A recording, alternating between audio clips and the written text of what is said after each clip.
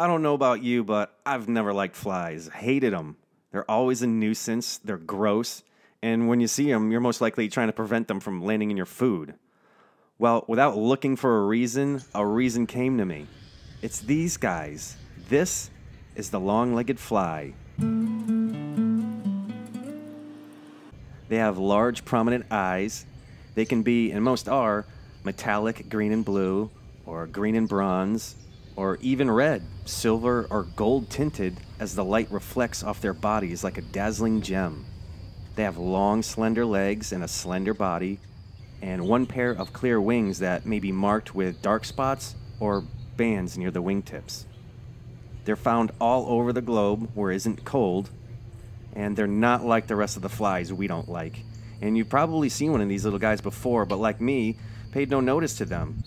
You're most likely to see one of them in either your lawn or in your garden. You're going to find them on the banks of bodies of water or in meadows or woodland edges as well, but definitely not around an outside trash can.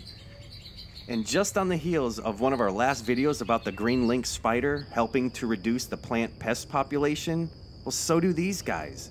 You can view them as little beneficial, underappreciated predators that are always watching over your plants from insect pests. They're beneficial predators both as adults and in the larval stage. With their specialized mouthparts, they feed on a variety of small, soft bodied insects, including other flies, thrips, aphids, spider mites, springtails, leafhoppers, whiteflies, small caterpillars. Oh, yeah, termites, gnats, and mosquitoes, especially. That's great.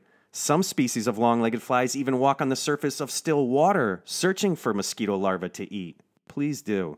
They've been even known to sometimes carry their prey along with them in flight.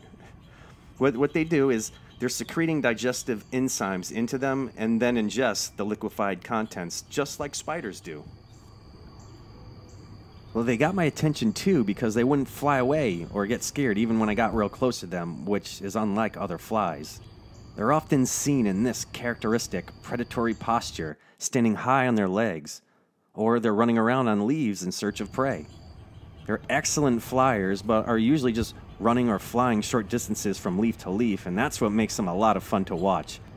There are more than 8,000 species, 1,300 in the US alone, and they're considered a true fly. True flies are among an immense group of over 100,000 known species, so these guys only having 8,000 species is really a small subsect that you can respect. What I was really kind of hoping to see is some of the complex courtship behaviors that this species is becoming increasingly known for. The males of many of these long-legged flies have flag-like appendages on their front legs and or have modified antennas and they'll use them for attracting females during an elaborate, sometimes unique, slow-motion cycle walking courtship dance.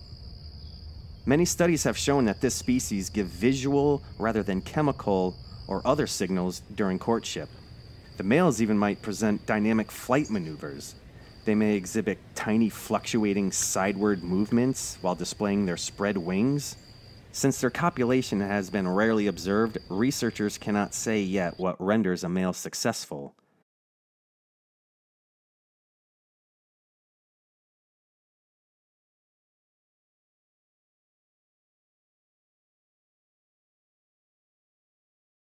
They just involve elaborate and unique behaviors involving displaying their legs and other stuff. As you can see by some of this footage I was able to take that day when some of them came around, they care a great deal about their grooming habits. I'll definitely be on the lookout for more of these little guys and try to catch some more of this rarely seen behavior. Their life cycle is pretty basic. Adult females will lay her eggs in moist soils or under the bark of trees. And that larva, again, also beneficial predators, They'll be feeding on the soil or bark dwelling invertebrates, and they'll be developing through several stages in that soil, ranging from moist to wet. Maybe they'll develop under algal mats or in tree holes or little burrows made by bark beetles. They'll pupate in cocoons made up of soil or bark particles cemented together. That's why you're most likely to encounter one of these cool little guys once they reach their adult stage, which typically starts in the spring and lasts through the fall. Unfortunately, the adults are so sensitive to cold temperatures, you're only going to see them after the last frost in the spring up until the first frost in the fall. They lead a short lived life of helping us out, so please add them to your list of allies. They pose no threat to us as they don't bite or spread diseases, they feed on insects. Plus, they prefer to remain outdoors, so it's unlikely you'll ever be bothered by one in your own home. They're just great to have around outside, protecting your plants and flowers. Well, thanks for watching, and now that you know about these little guys too, hopefully you'll get to witness some of these fascinating behaviors for yourself. Till next time, see you in the woods.